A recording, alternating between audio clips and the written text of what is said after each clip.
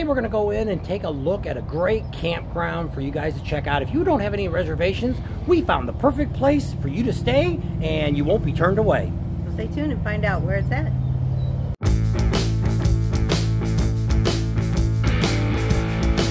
Turn off the Tomoka Farms Road, just past the flea market. At the end of the road, you make a right-hand turn. It turns into kind of a gravel, dusty road. And just follow the signs. They'll take you around. Local got somebody. Is that him standing out there? Mm, maybe.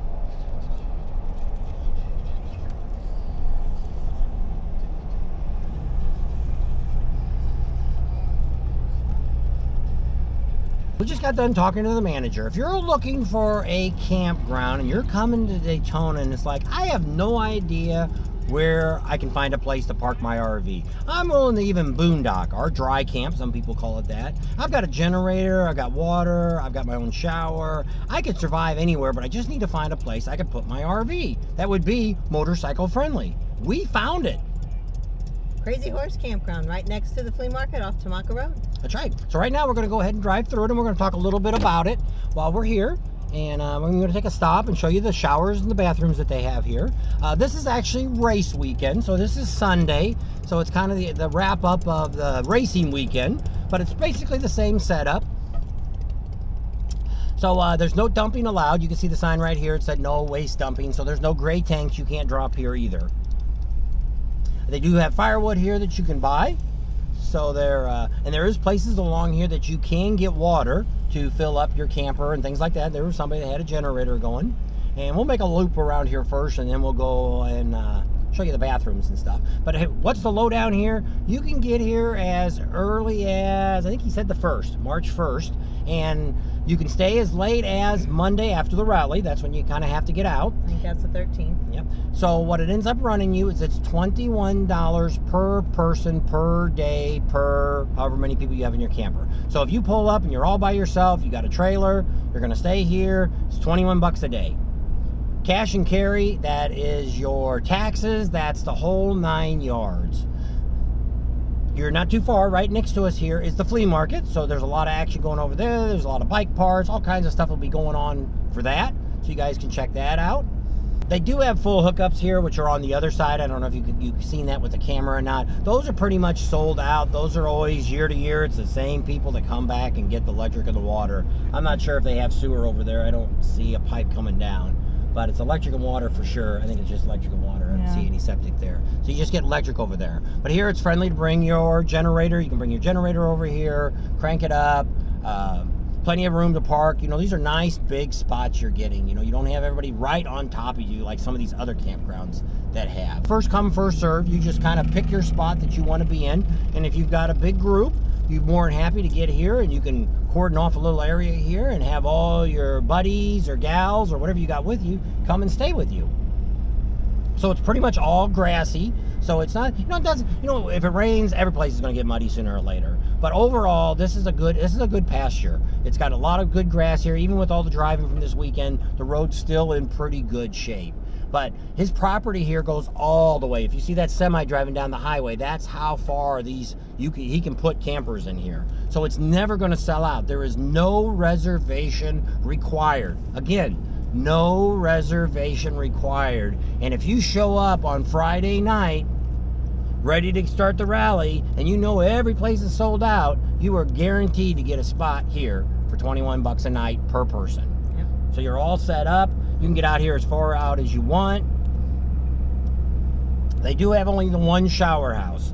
Uh, when we're going to say we're going to stop by, they kind of try to put the people with the tents. If you look ahead here, you see the tents over there. They kind of like to try to get the tents over in this general area away from the RVs. A lot of times with tents and stuff, you don't have generators and all that. But I mean, there's a guy way out there uh, a couple of them out there along the fence want to kind of get away from everybody and you're, you're like i say it's first come first serve and you can pretty much go wherever you want uh, a lot of big there's no size no limit on size here. So as big as your rv is you can find a place here to put it.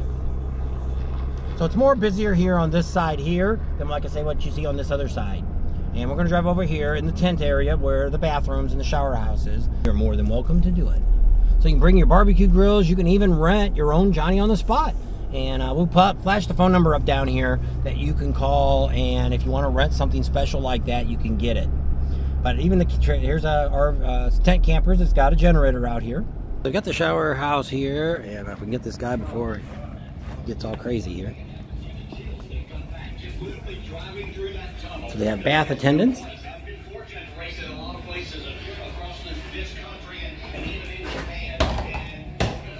This way is all the showers. You got showers down all the sides. They're pretty good in size. There's plenty. There's one, two, three, four, five, six on this side. And I think there's six on the other side. Yeah, so all together they have 12 showers, six on each side. So there's plenty of time to get in here and get your showers. And they've got some uh, sinks here to shave or whatever you want to do while you're here. Uh, they do have a bathroom attendant here to, uh, you know, make sure you try to tip him and give him something good. And uh, we've got hot coffee in the morning. So basically, for the rest of the time, you have to use the odd houses, the porta potties, for bathroom duties.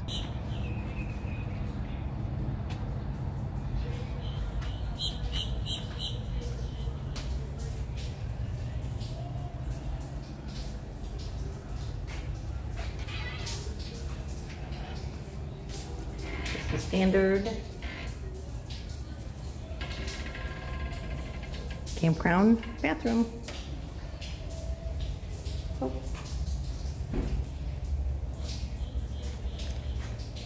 I like they got a little basket here you can put all your stuff on. So they got, looks like one, two, three, four, five, six, six, seven, eight, nine, ten, ten showers. trailers that are over there in that area. Like I say, pretty much here in the middle is where they like to get all the tent campers. So if you're bringing that motorcycle and you're bringing that tent, then also if you're coming with Camp Easy Ride, I'm assuming he's going to be back here in this area, and we'll give you a little more information when he arrives, let you know where he's going to be at for the Camp Easy Ride that are riding in and taking advantage of his great opportunity. Just ride in and rest overall, I really do recommend the campground. It's a pretty nice. Uh, the people that run it are same person that manages the flea market manages this tier, and uh, so it's a pretty neat deal. Uh, people, pretty much everybody here seems pretty civilized. Uh, don't see too much trouble going on. Don't ever hear any real trouble going on here. But I mean, there's people that always want to party, probably drink a little more than they should. Uh, there's also a place here if you'd like to leave your trailer. You've got a cargo trailer, you're hauling a bunch of bikes down, don't know where to leave it at. You can leave that trailer here. He's got a parking area over there. It does run $21 a day also to leave your trailer out here. So that can be arranged too. There's that firewood again.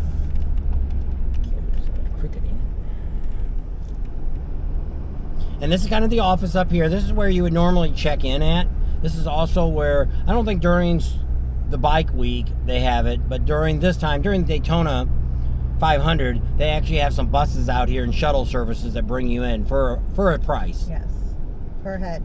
Yeah, and uh, here's some people that just called a taxi. Uh, you might even be able to get Uber and stuff to come out here. But I mean, if you're on your motorcycle, unless you're planning on going downtown and do some drinking, or out to the Iron Horse or yeah. Uber Bar. Or... Yeah. It's great little campground here. For boondocking or dry camping, this is ideal. You know, there's not any real trees or anything here to kind of block you or shade you. But hey, most of the time you should be out riding all day or having fun. And the time it, here, actually at night right now, it's been cooling down pretty good. You're down into the 60s most evenings here. So it's pretty comfortable, even though it's getting to be in the 80s and the 90s this weekend coming up. That hot, that still gets kind of cool down here at night, so it's not too bad if you're in a tent. You know, if you're still hanging around here by noon or 1 o'clock, that's your fault. Should have been out there riding your bike and having a good time and seeing all the great things to do and the great places to ride to and all that kind of great fun. So with that, we're going to leave you right here at...